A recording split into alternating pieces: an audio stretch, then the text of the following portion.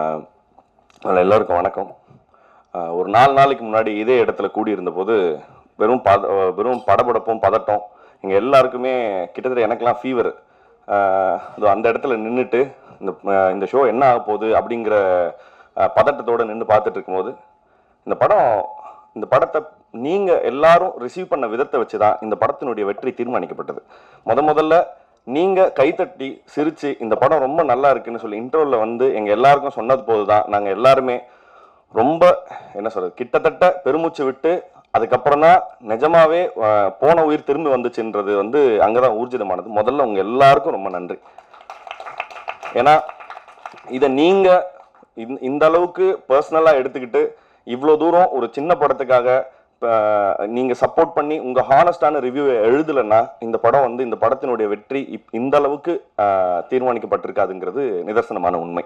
ஒன்று இரண்டாவது இந்த படத்தை ஜென்ரலாக நான் சக்தி சாருக்கு வந்து முதல்ல நன்றி கடன் பட்டிருக்கேன். ஏன்னா இது எங்கள் அசோசியேஷனில் ரெண்டாவது படம். முதல் படம் சில்லுக்கர்பட்டி நாங்கள் கிட்டத்தட்ட சில்லுக்கர்பட்டி சமயத்தில் ஒரு சின்ன படம் இது என்ன ஆக போகுதுங்கிற அப்படிங்கிற பதட்டத்தை ஆனால் வெறும் நல்ல படம் பண்ணோன்ற நம்பிக்கை மட்டும் இருந்து ஒன்றும் பிரயோஜனம் இல்லை. அது அது என்ன ஆக போகுதுங்கிற ஏக்கத்தோட இருந்தபோது சார் தான் வந்து முதல்ல கை கொடுத்து அந்த படத்தை வந்து ரிலீஸ் ரிலீஸ் பண்ணி கொடுத்தாங்க. ரெண்டாவது அதே அதே மாதிரி அதே ஏக்கத்தோட இருந்தப்ப வெறும் நல்ல படம் பண்ணியிருக்கோம் அப்படிங்கிற ஏக்கம் மட்டுமே இருந்தபோது கவலைப்படாதீங்க நான் இருக்கேன்னு சொல்லி கை கொடுத்தேன் ரெண்டாவது தடவையும் அதை நிகழ்த்தி காட்டினதுக்காக ரொம்ப நன்றிங்க சார் முதல்ல இந்த கதை வந்து நான் ஒரு நாள் வந்து வேற ஒரு நரேஷன்ல இருந்த கேட்டுட்டு இருந்தேன் அப்ப முடிச்சுட்டு வெளியில வரும்போது ரமேஷ் தான் ஃபோன் பண்ணான். அஹ், ரமேஷன் வந்து கிட்டத்தட்ட ஷார்ட் ஃபிலிம் சமயத்துல இருந்தே அந்த வாய்ப்பு தேடுற சமயங்கள்ல இருந்தே ஃப்ரெண்ட்ஸு அப்போ ரமேஷ் தான் ஃபோன் பண்ணா மாமா இப்படி ஒரு கதை இருக்குது கேள அப்படின்னு சொன்னாப்புல. ஸோ நான் சொன்னேன் சரி ஓகே நான் போய் கேட்குறேன் அப்படின்னு சொன்னேன். அப்போ விநாயகர் முதல்ல மீட் பண்ணேன். மீட் பண்ணும்போது அவர் கதை சொன்ன விதம் ரொம்ப இன்ட்ரெஸ்டிங்காக இருந்தது. ஏன்னா நம்ம உன்னை போல் ஒருவன் படத்தில் ஒரு டேபிள் மேலே லேப்டாப்பு அப்புறம் ஃபோனு இந்த மாதிரி நிறைய கேட்ஜெட்ஸ்லாம் பரப்பி வச்சுக்கிட்டு உட்காருங்க அப்படின்னாரு. ஃபஸ்ட்டு கதை சொல்ல ஆரம்பிக்கும் போது அப்படியே கரெக்டாக நிறுத்திடுவார். இந்த இடத்துல அப்படியே வெயிட் பண்ணுங்க அப்படின்னு சொல்லிட்டு ஒரு மியூசிக் போடுவார். இப்போ அந்த மியூசிக் ஓடிட்டே இருக்கும் ரூமில் அதுக்கேற்ற மாதிரி அந்த மியூசிக் மேலேயே கதை சொல்லுவார். அப்புறம் அந்த மியூசிக் கட் பண்ணுவார் கட் பண்ணிட்டு திருப்பி இன்னொரு சீன்லேருந்து ஆரம்பிப்பார்.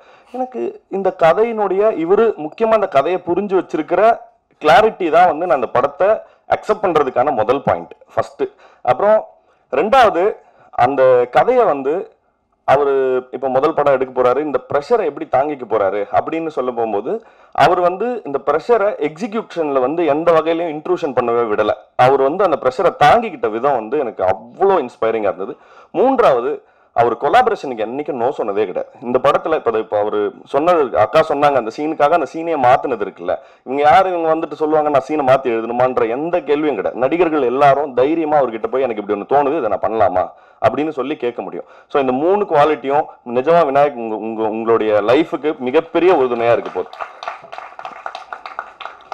அப்புறம் இந்த படத்தினுடைய ப்ரொடியூசர்ஸ் இவங்க நிறைய பேர் வந்து இவங்க கிட்ட நோ சொல்லியிருக்காங்க. எதுக்கு இவங்களை இவங்கள மணிகண்டன் வச்சு எடுக்க வேண்டுமா? அப்படின்னு சொல்லி சொல்லியிருக்காங்களா? அவரே என்கிட்ட வந்து சொல்லியிருக்க இப்படிலாம் சொல்றாங்க அப்படின்னு சொன்னோடனே நானுமே சொன்னேன். வேணுமா? பார்த்துக்குங்க அப்படின்னு சொல்லி சொன்னேன். அவர் வந்து இல்லை இல்லை நாங்கள் கான்ஃபிடென்ட்டாக இருக்கோம் அப்படின்னு சொல்லி சொன்னாங்க. முதல்ல என் மேலே வச்ச கான்ஃபிடன்ஸுக்கு முதல்ல ரொம்ப நன்றி. மகேஷ்ராஜ் சாருக்கும் சரி யுவராஜ் சாருக்கும் சரி. முதல்ல என் மேலே வச்ச கான்ஃபிடென்ஸ் எனக்கே கிடையாது. என் மேலே இப்படி ஒரு கான்ஃபிடென்ஸை என் மேலே வச்சதுக்காக ரொம்ப ரொம்ப நன்றி. இது முடிச்ச பிற்பாடு இந்த ஸ்கிரிப்டுக்குள்ளே உள்ள இன்வால்வ் ஆன பிறகு நாங்கள் நானும் விநாயகம் கிட்டத்தட்ட டே நைட்டாக வந்து நிறைய டிஸ்கஷன்ஸ் அனல் பறக்கிற டிஸ்கஷன்ஸ் இருக்கும். பட் பரத் வந்து கிட்டத்தட்ட ஒரு எடிட்டர்னா வந்து படம் எல்லாம் ஷூட் பண்ணி முடிச்சுட்டு ஃபுட்டேஜஸ்லாம் போன பிறகு எடிட் பண்றவர் அல்ல. அவர் எங்களுக்கு வந்து ஸ்கிரிப்ட் ஸ்டேஜ்லேயே அது நான் வந்து ரொம்ப சிலாகிச்சு ஒரு சீனை வைக்க மாட்டேன். அப்படின்னு சொல்லிட்டு அங்கிருந்தே உட்காந்து சொல்லிட்டு வைக்கவே மாட்டேன். நீங்கள் நீங்கள் என்ன வேணாலும் வைக்க மாட்டேன். அப்படின்னு சொல்லிட்டே இருப்பார். ஸோ பரத்துடைய கான்ட்ரிபியூஷன் வந்து எங்களுக்கு ஷூட்டு ஷூட் முடிச்சு போஸ்ட் ப்ரொடக்ஷன்ல இல்லை. ஸ்கிரிப்ட் ஸ்டேஜஸ்ல இருந்தே அவர் எங்க கூடவே இருந்தார். பரத் ரொம்ப நன்றிங்க பரத். ஏன்னா இது பொதுவாக வந்து ஒரு ஈஸியாக ஒரு படத்தில் வந்து டயர்ட்னஸ் வந்துடும் ஒரு ஒரு ஒரு பீரியட் ஆஃப் டைமில் ஒரு படத்தில் வேலை பார்க்கும்போது டயர்ட்னஸ் வந்துடும் அந்த ஆள்லாம் ரெண்டாயிரம் வாட்டி பார்த்துருப்பாரு நினைக்கிறேன். எங்கே இருக்கீங்கன்னு கேட்குறேன் ஒய்ஃபோட படம் பார்த்துட்டு இருக்கேங்கிறாரு இது இன்னும் எத்தனை வாட்டி பார்ப்பாருன்னு தெரியல. பட் அந்த படத்தில் இன்னும் இன்ட்ரெஸ்ட் குறையாம இருந்ததில் ரொம்ப சந்தோஷம். ரொம்ப முக்கியமான குவாலிட்டியாக நான் பார்க்குறேன். அப்புறம் ஜெயன் சார் ஜெயன் சார் பத்தி சொல்லணும். ஏன்னா படத்துல ரொம்ப லேட்டா வந்து ஜாயின் பண்ணார் இந்த படத்துல. அப்ப நான் நான் கேட்டேன் இது இப்போ படத்தினுடைய நம்ம நம்ம வந்து ஒரு சிங்க்ல இருக்கோம் இவ்வளோ நாள். திடீர்னு பத்து நாளுக்குள்ள வந்து இவரால் சிங்க் ஆயிட முடியுமா? பேசவும் மாட்டேங்கிறாரு. பேச்சும் வர குட் மார்னிங் தவிர்த்து பேசின வேற எதுவுமே பேச ரைட்டு சார் லெஃப்ட் சார் இதை தவிர்த்து பேசுனதே கிடையாது. என்னன்னு சொல்லி யோசிக்க போகும்போது அவருடைய சின்சியரிட்டி மட்டும்தான் பேசிச்சே தவிர்த்து அவர் பேசினதே கிடையாது இன்னைக்கு வரைக்கும். நாங்கள் வந்து எங்களுக்கு வந்து எங்கள் மேலே ரொம்ப பெரிய கரிசனம் உண்டு எங்கள் டேரக்டருக்கு எப்படின்னா காலையில் ஆறு மணிக்கு கூப்பிட்டு அடுத்த நாள் காலையில் ஆறு மணி வரைக்கும் ஷூட் பண்ணுவார். அதை வந்து எங் நாங்கள்லாம் வந்து டோட்டலாக வாட்டி வதங்கி இருந்த சமயத்தில் ரெண்டு மணிக்கு அப்புறம் இவர் உட்காந்து அந்த ஷாட்ல இப்படி ஒன்று இருக்கு சார் அது என்ன பண்ணலாம்னு சொல்லிட்டு போய் வீட்டுக்கு போங்கயான்னு சொல்லிட்டு நான் சொல்லிட்டு இருப்பேன். அப்ப அந்த அளவுக்கு பேஷனை மட்டுமே உள்ளுக்குள்ள வச்சுட்டு இருக்கிற ஒரு ஆளா வந்து நான் ஜெயன் சாரை பார்த்தேன். சார் ரொம்ப நன்றிங்க சார் இந்த படத்துக்குள்ள வந்ததுக்காக. அப்புறம் இந்த படத்தினுடைய art director art director sir வந்து நான் வந்து ரொம்ப நாளாக தேடிட்டு இருந்தேன். ஆர்ட் டைரக்டர் எங்கெங்க ஸ்பாட்டுக்கே வரலையா வரலையான்னு. ஒருத்தர் வந்து ஒரு எமரி ஷீட் வச்சு செவுத்து வேகமாக தேடி மேலெல்லாம் சொன்னாங்க சார் நானா சார் நானா சார் ஆர்ட் டைரக்டர் அப்படின்னாரு. எனக்கு வந்து இல்ல நான் நினைச்சேன் ப்ராமிஸா இவர் தானே ஆர்ட் டேரக்டர் டைரக்டர் ஆ அவர் தான் அப்படின்னாரு. நான் இது வரைக்கும் ஸ்பாட்ல ஒவ்வொரு நாளும் பார்க்கும்போது இதுவரை இப்போ எனக்கு தெரிஞ்சு இன்னைக்கு மட்டும்தான் மேலே சுண்ணாம்பு இல்லாம நான் பார்த்தது. அவர் முகத்தையே இன்னைக்கு தான் நான் பார்க்குறேனே நான். அந்த அளவுக்கு கொடூரமான பேஷனோட இந்த படத்துக்காக வேலை பார்த்தாரு. ரொம்ப நன்றிங்க சார் உட்காருங்க. அப்புறம் இந்த படத்தினுடைய இன்னொரு நம்பிக்கை வந்து நான் சொல்கிறேன் நானும் விநாயகம் வந்து இந்த ஸ்கிரிப்டை வந்து ஒர்க் பண்ணும்போது பொதுவாக ப்ரொடியூசர்ஸ்க்கு வந்து என் மேலே எவ்வளோ நம்பிக்கைங்கிறதுக்காக இந்த விஷயத்த சொல்கிறேன் நாங்கள் ஃபைனல் டிராஃப்ட் நாங்கள் வந்து நானும் அவரும் ஒர்க் பண்ணி முடிக்கிற சமயத்தில் கூட எங்கள்கிட்ட என்ன என்ன மாற்றிருக்கீங்க என்ன இப்போ முன்னாடி சொன்ன டிராஃப்ட்லேருந்து எதுவும் மாறி இருக்கா இது வரைக்கும் இப்போ ஃபைனல் படம் முடிக்கிற போது தான் அவருக்கே தெரியும் படம் என்னவா ஆயிருக்குன்னு. நான் எனக்கு தெரிஞ்சு இப்படி ஒரு ட்ரஸ்ட்டை வந்து நான் வந்து ஒரு ப்ரொடியூசரா இன்னொரு டீம் மேல வைப்பனாங்கிறது சந்தேகம். முதல்ல ரொம்ப ரொம்ப நன்றி தலைவா. என் மேல அப்படியான எங்க மேல அப்படியான ஒரு நம்பிக்கையை வச்சதுக்கு ரொம்ப நன்றி.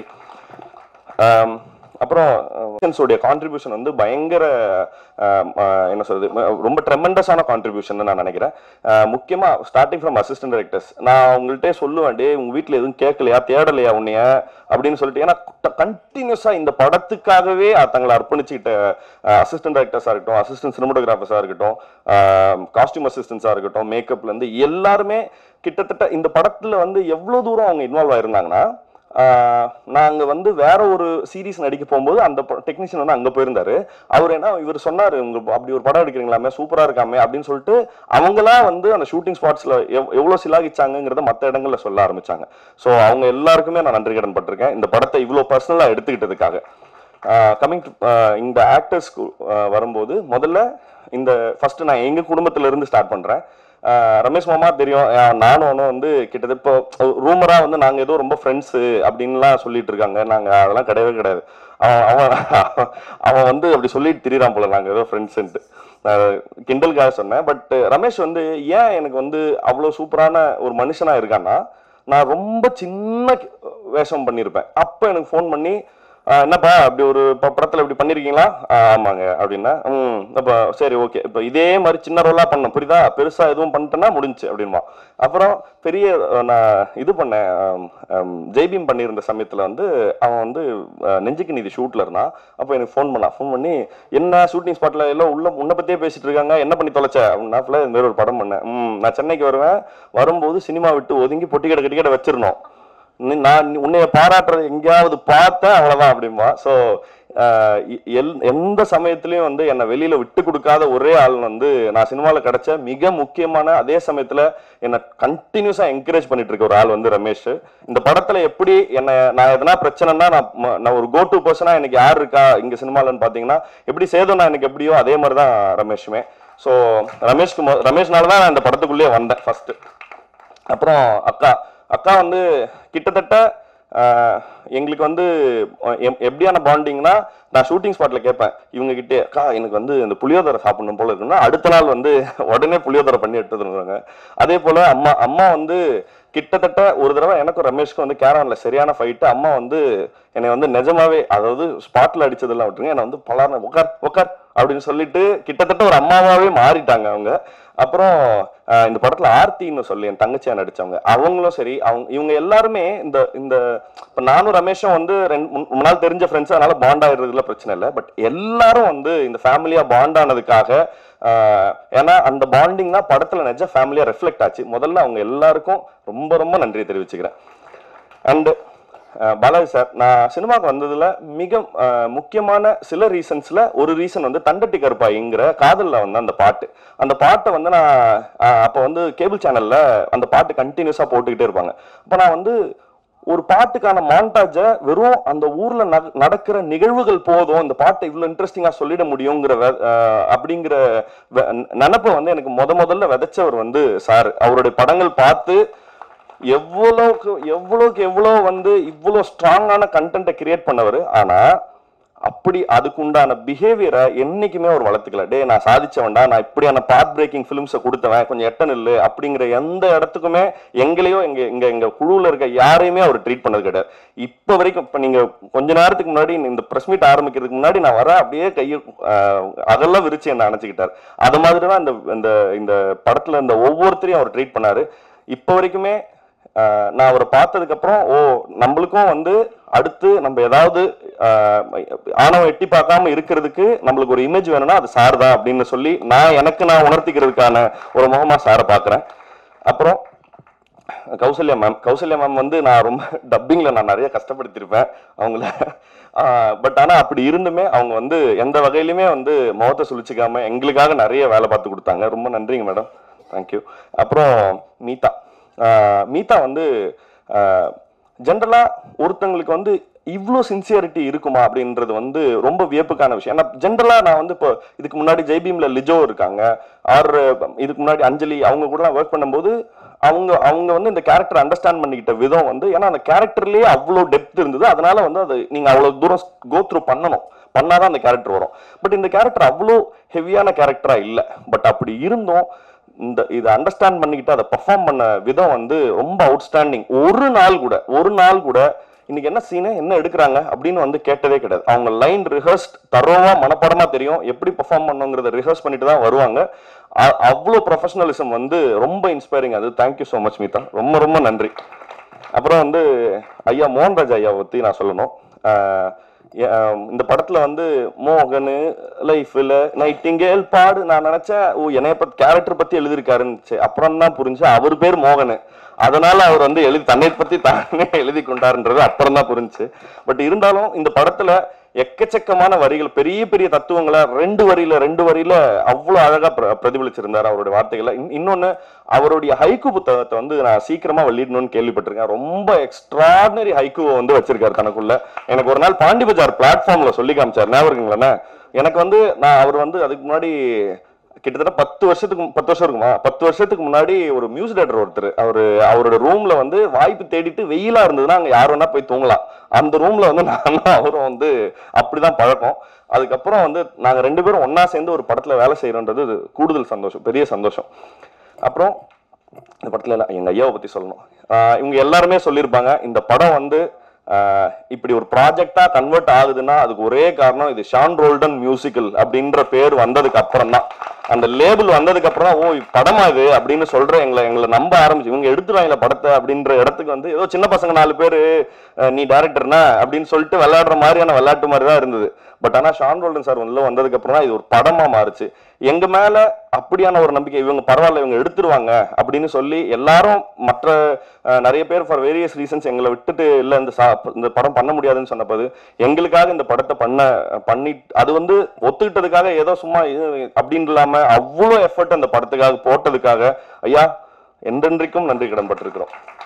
இது ஆஹ், இப்படி இந்த படம் வந்து எல்லாரும் தங்கள்கிட்ட இருந்த ஒரு சொன்ன மாதிரி ஒரு ஒரு செங்கலா எடுத்து எடுத்து எடுத்து ஒரு சின்ன கட்டடம் கட்டி முடிச்ச பிற்பாடு அது வந்து தங்களோட வீடா அந்த நீங்களும் சரி ஆடியன்ஸும் சரி அது அவங்க தங்களோட வீடா எல்லாரும் வந்து கனெக்ட் பண்ணிக்கிட்டதும் எங்களோட மெசேஜஸும் சரி ஒவ்வொரு ஷோவோட ரெஸ்பான்சஸும் சரி இந்த படத்துக்காக வந்து நான் நாங்கள் பட்ட கஷ்டங்கள் இவங்க சொல்லியிருக்காங்க. நாங்கள் எல்லா படமும் கஷ்டம் தான் படுறோம். பட் இந்த படத்துக்கான இது என்னன்னா வெறும் ஒர்க் மட்டும் இல்லாமல் ஐயோ இது சரியா வந்துருமான்ற ஏக்கமும் கூடுதல் கஷ்டத்தை கொடுத்தது. அது எல்லாம் மலை மாதிரி இருந்தது எல்லாம் பனித்துளி மாதிரி தூக்கி அடிச்ச எல்லாருக்கும் சரி.